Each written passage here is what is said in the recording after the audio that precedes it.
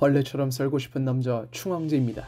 최근 말벌 영상만을 만지고 있습니다. 그도 그럴 게 쇼킹한 일 투성이거든요. 대한민국 역사상 최초로 살아있는 장수 말벌의 둥지를 통째로 전시하다니 안 보면 인생 절반 손해볼 정도로 무진막지한 일이라고요.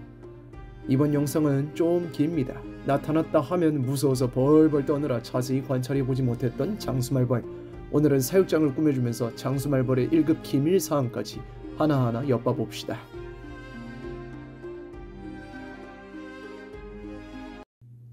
맹수를 상대하는 것과 맹수를 키우는 건 아무나 할 수 있는 게 아닙니다. 뭐 굳이 언급 안 해도 아시겠죠? 따라하지 마세요. 뒤지기 싫으면. 장수말벌은 전 세계의 모든 벌을 통틀어서 가장 위험하고 가장 강한 벌이라고 생각합니다. 바이러스나 병균에 어시스트 없이 인간을 솔킬내는 미친벌레, 어, 무친벌레이며 한국 최강의 벌레 장수풍뎅이 사슴벌레도 맞상대가 가능할 정도로 싸움 실력이 미쳤습니다. 꿀벌을 상대할 때는 주인공 부정이라도 받은 것 마냥 양학과 학살이 무엇인지 제대로 보여주는 벌레입니다. 일당백, 진 삼국무쌍의 현실판, 꿀벌집을 치밀하게 전쟁과도 같은 규모로 습격하는 말벌은 장수말벌이 유일합니다. 유튜브에 조금만 검색해보시면 장수말벌과 꿀벌의 전쟁 다큐를 보실 수 있습니다. 꼭 보세요. 두 번 보세요. 저는 옛날부터 이렇게 모든 것을 다 갖춘 장수말벌을 진심으로 사랑했습니다. 사랑해서 아 사랑해서 사랑해서 사랑해서 아 장수말벌 표본만 수백 마리를 사모았지요. 하지만 살아있는 장수말벌은 사람을 죽이는 맹수여서 키워볼 생각은 엄두도 하지 못했습니다. 그런데 웬걸 장수말벌한테 맨손으로 밥을 주는 미친 국보급 인재가 여기에 있네요. 몇 달 전부터 귤장님이 헤라클레스 살 돈으로 장수말벌이나 사달라고 졸랐었는데 처음에는 장난인 줄 알았습니다. 하지만 반복적이고 강조되는 요청에 장난이 아닌 걸 알게 되었고 여차저차 장수 말벌의 둥지를 습득했습니다. 장수 말벌을 키우려면 둥지를 통째로 뽑아와야 합니다. 장수 말벌은 미개한 말벌들과는 다르게 개미처럼 땅을 파서 그 속에 둥지를 짓습니다. 당연히 둥지가 보이지를 않으니 사람이 실수로 건드려서 큰일 나는 경우가 많습니다. 이 위험천만한 그야말로 호랑이 굴을 어떻게 구할 수 있었을까요?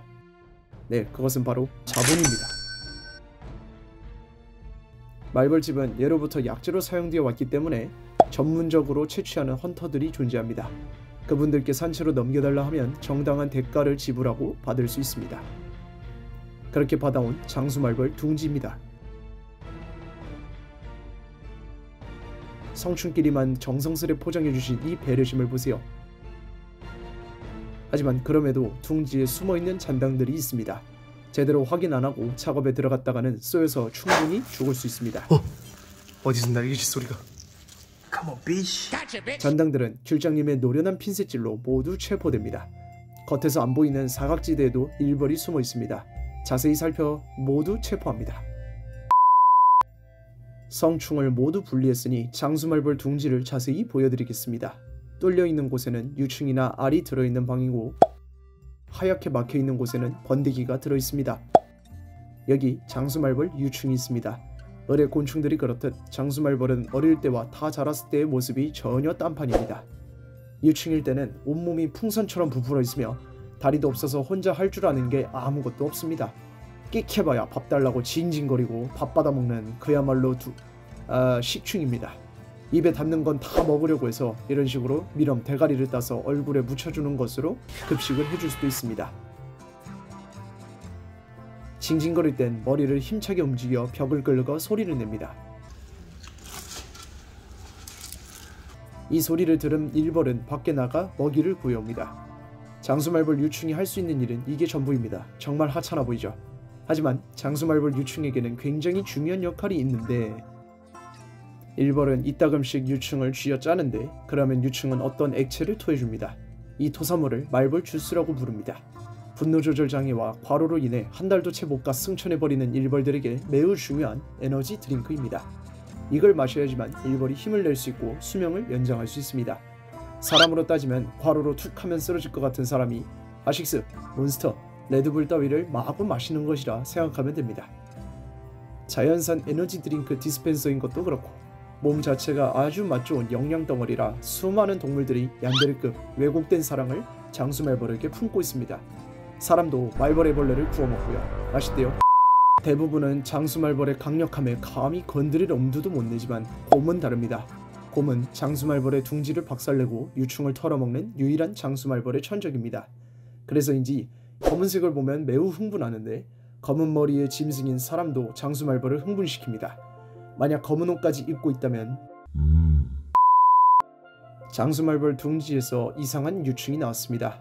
정확하진 않지만 이것은 말벌이나 쌍쌀벌의 둥지에 기생하는 은문이 줄 명나방의 유충일 것입니다. 이들은 장수 말벌이 감지하지 못하게끔 벽을 갉아먹고 그 안에서 생활을 하며 둥지는 물론 유충이나 번데기까지도 갉아먹는 컨셉 확고한 기생충입니다. 수많은 일벌이 경비를 서고 있는 장수 말벌 둥지에 눌러앉아 사니 다른 천적들에게 공격당할 일이 거의 없어요. 하지만 이 녀석들은 정말 운 나쁘게도 인간에게 잡혀버렸네요. 쓸데없는 이분자들이니 처형해버렸습니다. 얼추 둥지 점검이 끝났으니 미리 준비된 사육장에 세팅해봅시다. 글로건을 사용해 횃대와 장수말벌 둥지를 이어붙입니다. 둥지가 워낙 커서 소모되는 글로건만 해도 만만치가 않습니다. 여러분 글로건 도킹할 시간입니다. 야 글로건 넣을게. 오잉 푹직푹직. 다른 말벌은 이런 세팅을 통해 인공 사육이 가능하지만 땅속에 둥지를 짓는 장수 말벌의 생태의 특성상 둥지를 땅 밖에 꺼내버리면 적응하지 못합니다. 즉, 이 세팅은 장수 말벌을 행복하게 해주기 위한 것이 아닙니다. 우리의 킹바니님들께 이 무시무시한 생체 병기를 가까이서 보여주기 위함이죠. 만일 진심 모드로 키우려 한다 해도 땅속에 둥지를 짓는 독특한 습성 때문에 인공 사육이 거의 불가능합니다. 비닐하우스 정도 되는 공간에 흙을 가득 쌓아둔 사육장이라면 가능할지도 모르겠는데 어, 굳이 그러고 싶지는 않네요. 그러다 진짜 사람 죽을 수도 있고 차라리 그 돈으로 표본을 사고 말지. 글로건이 굳어 둥지가 잘 고정됐습니다. 이제 밥을 줍시다. 장수말벌의 성충은 야생에서 과일이나 나무 수액, 꿀벌이 열심히 모아둔 벌꿀을 섭취하면서 살아갑니다. 과일은 찌꺼기가 남고 수액은 없고 벌꿀은 내가 먹어야 되니까 특별한 음료수를 만들어 줍시다. 몬스터와 포도 주스를 배합하여 만든 혼액 칵테일이 되겠습니다. 좀 맛없지 않을까 싶은데. 어 저 부글부글 끓는 거 보세요. 맛이 나면 뭘까요?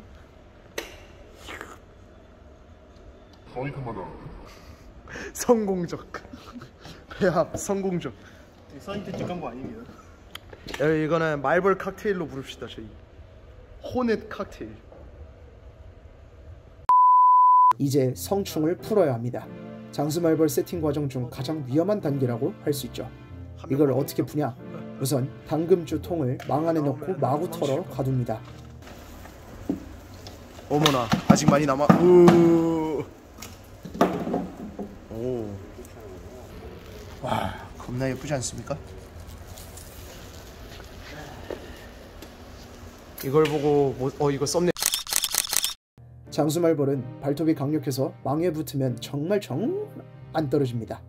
그래서 망 안에 핀셋을 집어넣고 한 마리 한 마리 핀셋으로 잡아서 넣어야 합니다.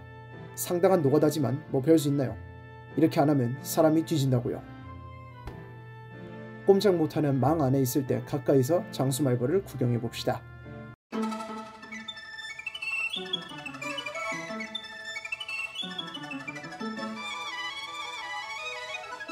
여기 머리와 가슴, 배가 남다르게 큰 녀석이 있습니다. 이놈이 여왕벌입니다. 원조 여왕벌은 아닐 것이고 최근에 새로 태어난 미혼의 여왕벌, 공주벌일 것입니다. 장수말벌 둥지에는 오직 한 마리의 여왕만이 혼자서 둥지를 건설하고 통치합니다. 다시 말해 여기에 있는 다수의 여왕벌처럼 보이는 것들은 전부 공주벌이라는 것이죠. 가을은 장수말벌의 결혼식이라서 공주벌이 한창 많이 보일 때입니다. 각성했네. 초파리. 안녕하세요. 여. 오.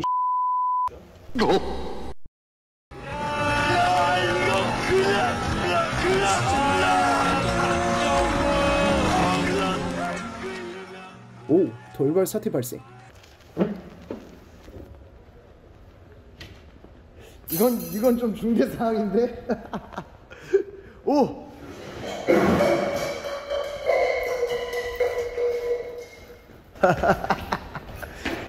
여러분